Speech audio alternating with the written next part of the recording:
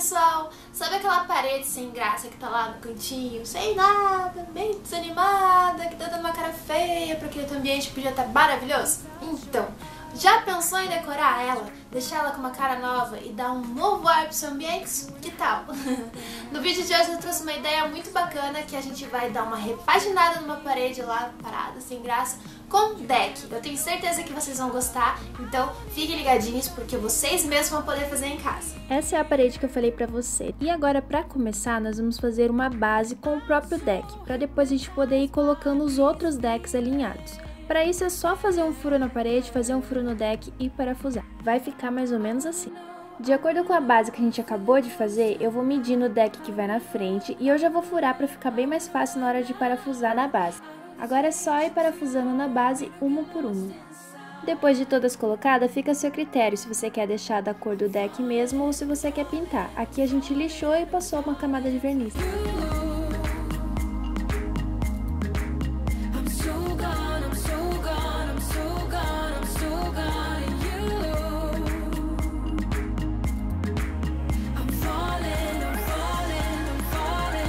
Acharam do resultado? Gostaram?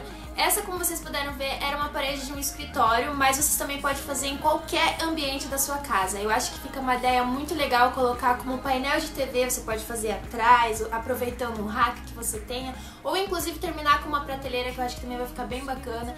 Na sacada, gente, eu acho que fica muito legal colocar lá numa pontinha e colocar vasinhos de flores, que eu acho que também fica um charme. Enfim, gente, é só você ver aí a parede que você quer, dar uma cara nova e usar a imaginação.